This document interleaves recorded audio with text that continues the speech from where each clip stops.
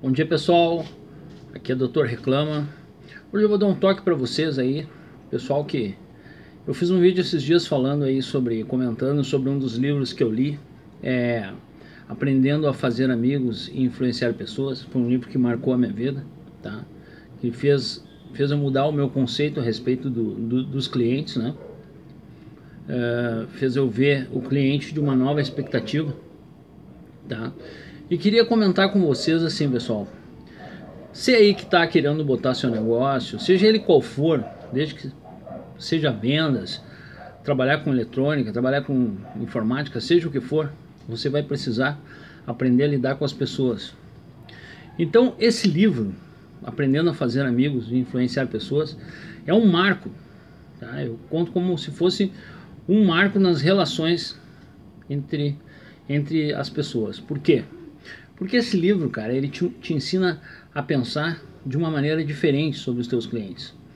A raciocinar que o importante entre uma relação de, às vezes até de compra e venda, não é só o produto, mas sim o vendedor, os laços que você cria com os seus clientes. E por dentro disso, pessoal, o que eu queria dizer para vocês é assim, ó, nós estamos na era do conhecimento. O conhecimento ele não pode ficar preso, tá? E assim, pessoal, se tu não tem grana para comprar um livro, do jeito que a coisa tá indo, você não precisa mais comprar um livro, tá? É, tá muito fácil absorver essas informações aí, que foram guardadas durante anos, 30, 40, 50 anos, dependendo do livro. Essas informações estão ao seu alcance. Às vezes a pessoa tá lá cheia de problemas, né, no dia a dia, e a pessoa fica tão bitolada, tão sufocada que acaba não encontrando o caminho. E às vezes o caminho está ali bem pertinho.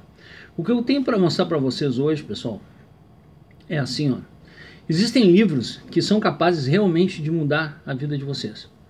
Eu vou citar alguns dos livros que eu considero os principais livros que mudaram muito a minha vida, tá? E dizer para vocês que todos os livros que eu li, todos eles têm uma mensagem e se você aprender essa mensagem, se você absorver essa informação, isso vai mudar você e vai fazer você tratar o seu cliente, lidar com o seu comércio e pensar de uma maneira diferente sobre a vida e o dia a dia, as relações interpessoais, tá pessoal? Então, eh, eu vou começar falando por esse livro, Aprendendo a Fazer Amigos e Influenciar Pessoas, tá? Esse livro tem para o download gratuito, o e-book, para quem gosta de ler, tem, é só procurar no Google. Mas se você não gosta de ler, você pode ir no YouTube. E lá tem o audiobook, da 9 horas, se eu não me engano. O audiobook desse livro, para você ler. Você pode botar no celular, você pode passar por uma pendrive e ouvir no rádio, em casa, no carro. Eu acredito que a mentalização é tudo. E o autor desse livro era um grande mentalizador. Tá? Então, o universo conspira a teu favor quando tu começa a planejar né? e tu começa a esperar que as coisas aconteçam e planejar e criar ações para que isso aconteça. Então, pessoal, esse livro eu acho fundamental para quem quer começar com o seu negócio, tá? Depois, um outro livro que eu aconselharia a vocês é Sun Tzu, Arte da Guerra. Aí vai ter gente que vai dizer assim, é, eu já li esse livro e não aprendi nada.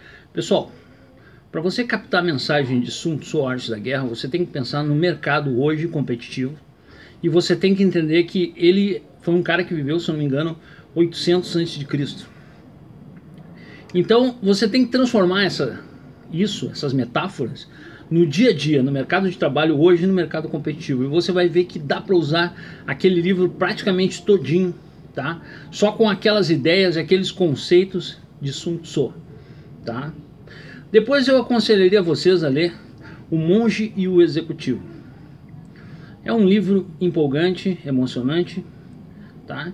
que ensina vocês a ter relações com os seus empregados, com os seus subordinados, ou até mesmo você, empregado, ter uma relação melhor com o seu patrão. Através desse livro você vai conseguir ler e aprender alguma coisa. Depois eu diria o quê?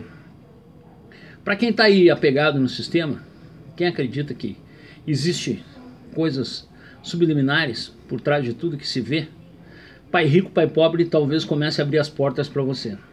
Tá? Conta a história de um, de um cara, não vou citar nomes e tal, nem senão vocês não vão querer ler. Que ele cresceu numa, num bairro pobre, mas esse bairro acabou sendo englobado por um novo bairro que cresceu ao lado, onde lá tinham pessoas com maior poder aquisitivo. E ele geograficamente acabou ficando nesse lado mais próximo dessas pessoas com maior poder aquisitivo, onde lá ele arrumou um amigo e esse amigo tinha um pai e ele criou relações muito legais com, com essa família, ao qual ele começou a comparar as dicas do pai dele com as dicas do pai rico, no caso que seria o pai do amigo. Então é muito legal, pessoal, para você ver que o sistema, às vezes o que o sistema quer é isso, é que você não reclame, que você não veja nada. No momento que você cria conceito, que você começa a reclamar, que você começa a ver as coisas de maneira diferente, as coisas começam a mudar ao seu redor. Às vezes para melhor, e às vezes você vai ser criticado também, como eu, tá pessoal? Então, Pai Rico, Pai Pobre é um, é um livro excelente.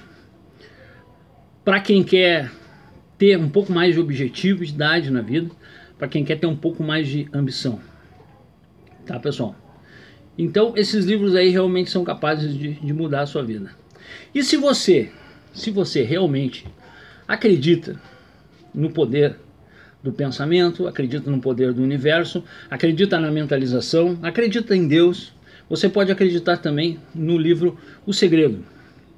Na verdade, isso aí é a física quântica colocada na prática. Tá? Eu sempre gostei de física quântica. Aconselho vocês a lerem O Segredo, mas leiam eles por último. Depois que vocês já tiverem lido vários livros, leiam O Segredo vocês vão ver que tudo que tu espera já está predestinado a acontecer, só você que não determinou a hora e o local. O cérebro da gente é a máquina universal, é capaz de gerar coisas incríveis, mas às vezes nós mesmos duvidamos dele. Então, pessoal, esse livro, O Segredo, é um bom livro também para quem gosta de fazer uma boa leitura, mas eu aconselho vocês a lerem ele no final. Tá, pessoal? Tem mais alguns outros livros bem interessantes que eu gostaria de dizer para vocês, mas assim, hoje eu não vou entrar em, tanto nesses detalhes assim, né? Mas eu quero mostrar uma coisa para vocês, para vocês verem como realmente é possível a gente evoluir, é possível a gente buscar a evolução sem precisar gastar muito, pessoal. Tá? Dá um tempinho aí que eu vou mostrar para vocês. Bom, pessoal, tô aqui na frente do, do meu computador. Vou, vou mostrar para a tela ali para vocês. Ali tem um audiobook, ó. ó. Pai rico, pai pobre.